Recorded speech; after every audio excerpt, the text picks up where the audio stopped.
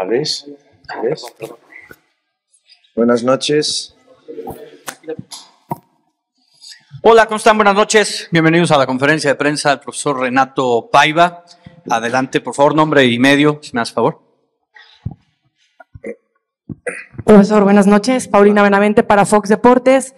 El resultado de hoy prácticamente los coloca ya en la fase final de este torneo y también los coloca nuevamente como la mejor ofensiva al momento de este clausura 2024. Este es el Toluca que quiere ver usted como entrenador para la siguiente fase, que prácticamente, como se dice en la Liga Mexicana, es otro torneo. Buenas noches. Sí, creo que en cuestiones de identidad hemos sido mucho más cercanos a nuestra identidad que en el último partido. Valoro muchísimo en el último partido lo que, lo que mis chicos han hecho en cuestiones de mentalidad, de no tener miedo, pero han sido un poquito a nivel táctico, un poquito no, a nivel táctico y defensivo muy irresponsables por la voluntad y eso yo no puedo criticar la voluntad, corregimos la parte táctica. En muchos momentos hemos estado muy desequilibrados haciendo cosas que no trabajamos exactamente por el emocional de los jugadores. Hoy volvimos a ser el equipo equilibrado que sabe dónde y cuándo defender, cómo defender y, y la parte ofensiva de mi equipo es casi siempre igual, por eso ya éramos el mejor ataque antes de este resultado y ahora alargamos para 7 8 goles más que Pachuca. Pero como siempre he dicho, ser el mejor ataque es, es, muy bonito, pero ser el mejor ataque y la mejor defensa o de las mejores defensas era lo ideal, porque indicaba un equipo, como yo siempre he dicho, que me gusta, un equipo equilibrado. Y aún no hemos conseguido ese equilibrio con un partido que fue para mí una excepción, eh, un partido que nos dañó con una goleada de 5 a 1. Y eso obviamente a nivel de números, estábamos en cuarta, quinta, sexta mejor defensa, pero a nivel de números nos dañó obviamente.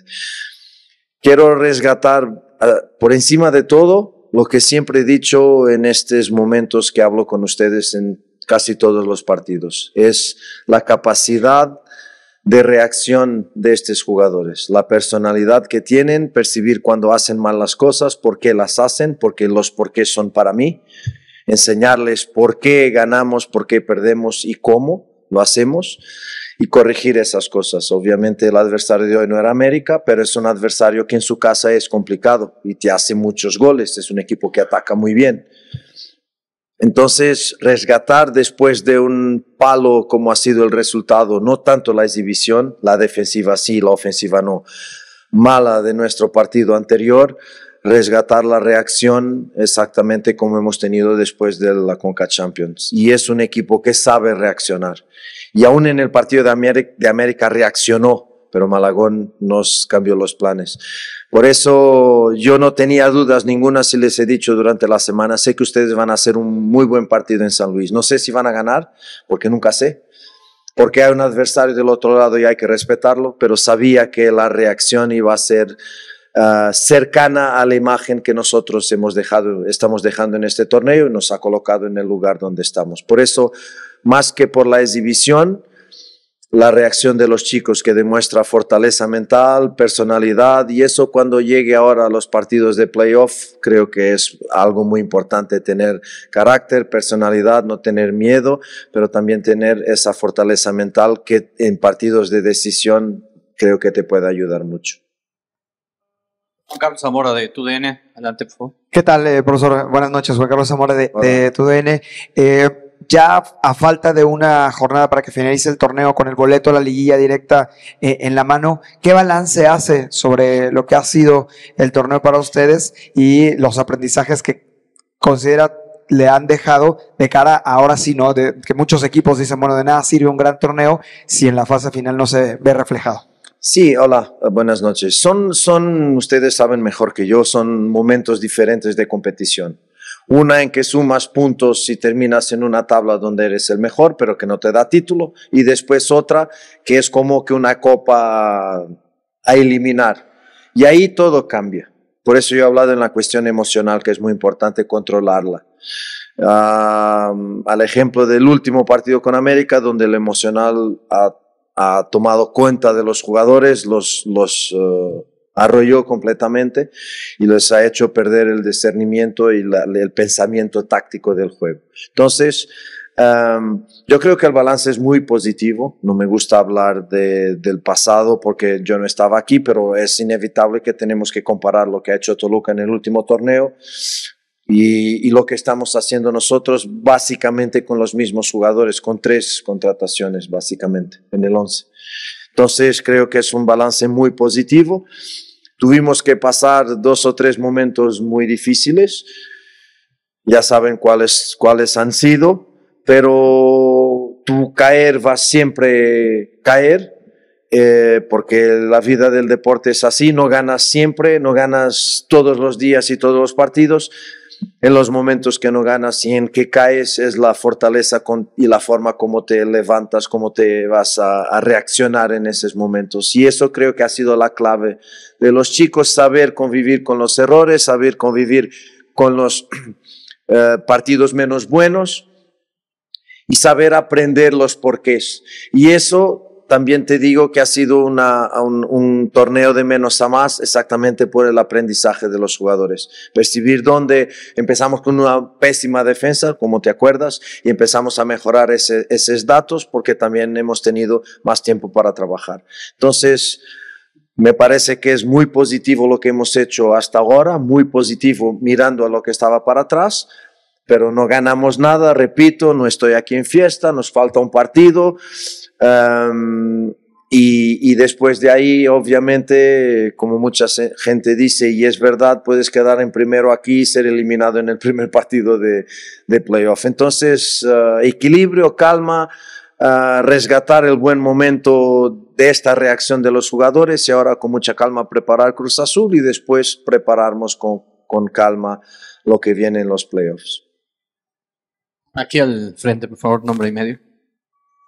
Hola, profesor, buenas noches. Karen. Peña de ESPN. Profesor, preguntarle en este momento, para la última jornada eh, del torneo, ¿qué sería prioridad para usted? Ganar. Por su historia es ganar. Jugar para ganar como hacemos en todos los partidos, sin especular, sin, con mucho respeto por nuestro adversario, que está haciendo un muy buen campeonato también.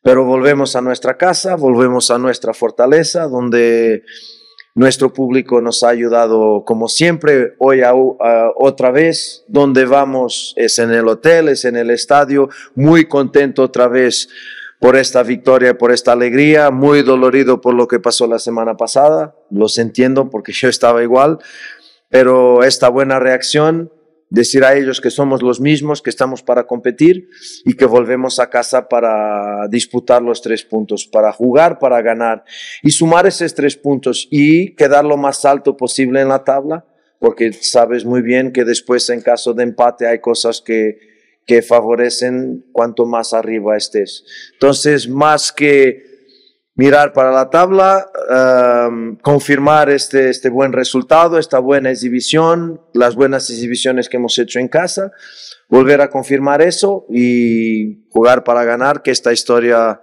de este club tan, tan fantástico no nos da otra opción que no sea esa. Y cuando no ganamos, ganar de inmediato, que ha sido lo que hemos hecho hoy. Última pregunta, Paulina. Última pregunta, profesor, ya le damos oportunidad. dos, más? No, dos preguntas es más caro. No, una más y ya le damos oportunidad de que se pueda retirar. Sin problema. Eh, Habla usted sobre el siguiente rival. Cruz Azul juega mañana contra Atlas, oportunidad de ver a un rival que sin duda dará un buen partido junto con ustedes en lo que sería la última jornada y en donde se estarían definiendo ya los lugares para la siguiente fase del torneo. Eh, ¿Cómo podría usted ahorita, sin verlo jugar todavía mañana, porque seguramente pudiese cambiar mucho la historia, eh, cómo ve usted o cómo clasifica a Cruz Azul como rival en esta última jornada? Eh, creo que los números son, son claros, los números de Cruz Azul son claros, ha hecho un muy buen torneo también, juega muy bien, juega muy bien, tiene muchas características que a mí me gustan de un, de un juego de posesión, de un juego de posición, ah, de un juego de circulación de balón, de muy buena ubicación de los jugadores, mucha calidad individual. Cruz Azul es un gran, un grande de México, entonces mucha calidad individual y también mucha calidad colectiva como cualquier equipo del mundo, tiene sus debilidades también, como tenemos nosotros. Y es por ahí que vamos a intentar ir. Una cosa para mí es segurísima. Va a ser un gran partido de fútbol. Va a ser un partido más de esta liga donde yo valoro muchísimo cómo se, cómo se encara el juego. Sin, sin miedos, a veces hasta tácticamente de forma irresponsable, pero valorar el espectáculo, porque las gradas tienen mucha gente y las personas pagan para ver un buen espectáculo. Y yo en México en realidad no veo muchos equipos especulando muy bajos, no queriendo jugar, no, todos cuando tienen el balón quieren jugar. Y yo valoro muchísimo esto en esta liga, muchísimo. Eh, y por lo tanto, conocemos bien el, el, el, rival, conozco bien el entrenador, me sustituyó a mí en Independiente del Valle, por lo tanto no hay muchas, muchas, muchos secretos ni, ni de mi juego para él, ni del juego de él para mí. Entonces, por la calidad de los jugadores, que aquí es lo más importante para mí siempre será, para la calidad del espectáculo están los jugadores. De un lado y de otro hay muy buenos jugadores, jugadores internacionales por diferentes países, entonces va a ser seguramente un gran espectáculo.